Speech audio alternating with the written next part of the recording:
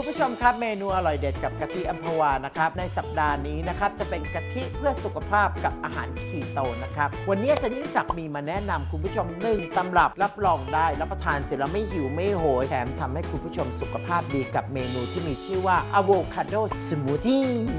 อาหารคีโตเนี่ยเขาบอกว่าเป็นอาหารที่รับประทานเพื่อใช้ไขมันในปริมาณค่อนข้างมากคุณผู้ชมแต่สิ่งที่รับประทานได้ดีที่สุดคือไขมันจากมะพร้าว เพราะฉะนั้นวันนี้แน่นอนตำรับของเราก็เป็นอาหารคีโตชัดเจนครับ อย่างแรกที่เราต้องใส่ลงไปในโถปั่นนะคุณผู้ชมนี่คืออะโวคาโดสุกคุณผู้ชมครับหั่นเป็นชิ้นแค่แข็งนะ โยเกิร์ตรสธรรมชาติ ไม่ใส่สี ไม่ใส่ผลไม้ ไม่ใส่น้ำตาลน้ำเชื่อมใดๆทั้งสิ้น เราจะบดผสมแค่ 2 อย่างนี้ก่อนคืออะโวคาโดกับโยเกิร์ตนะคุณผู้ชม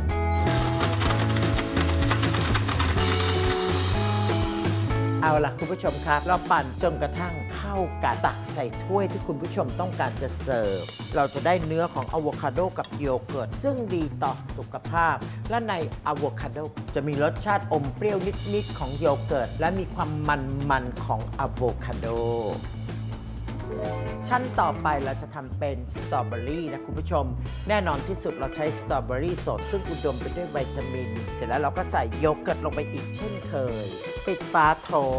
แล้วก็จัดการบดจนกระทั่งละเอียดนะครับ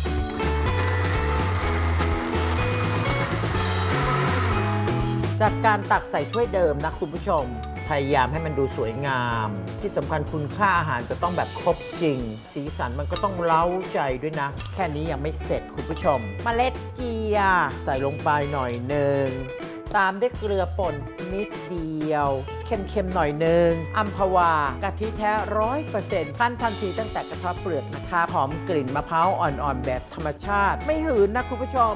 เพราะว่าเขาไม่ได้แต่งกลิ่นหรือสีสังเคราะห์ใด ๆ ทั้งสิ้นเลยนะครับ ใช้เวลาในการผลิตแค่ 3 ชั่วโมงเท่านั้นนะคุณผู้ชม เพราะฉะนั้นคุณผู้ชมจึงมั่นใจได้นะครับ และที่สำคัญที่สุดต้องบอกคุณผู้ชมนะ ว่าสีของกะทิเนี่ยจะขาวนวลนวลๆไม่ข้นหรือใสจนเกินไปนะคุณผู้ชมครับ เนียนแล้วก็น่ารับประทานมากครับ เสร็จแล้วก็คนให้เข้ากันเห็นไหมคุณผู้ชม เสร็จแล้วก็จัดการตักเมล็ดเจียกับกะทิเอามาหยอดข้างหน้าเห็นไหมคุณผู้ชมดูน่ารับประทานนะยังไม่พอ คุณผู้ชมทำให้มันสวยนิดนึง เพิ่มมูลค่า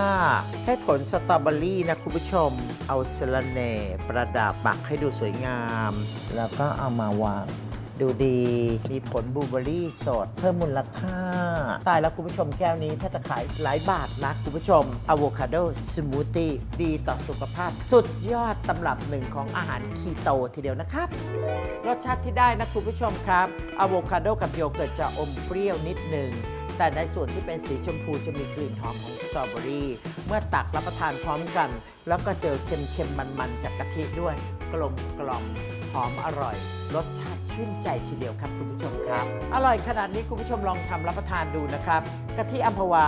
ขาวข้นหอมมันคล้ายกะทิคั้นเองนะครับ อร่อยได้ทั้งคาวหวานและเครื่องดื่มครับคุณผู้ชมครับ สัปดาห์หน้านะครับ เมนูคีโตกะทิเพื่อสุขภาพจะเป็นเมนูไหนคุณผู้ชมติดตามชมนะครับ อย่าลืมนะครับ ตัวจริงเรื่องกะทิคุณภาพต้องกะทิอัมพวา คุณภาพที่แตกต่าง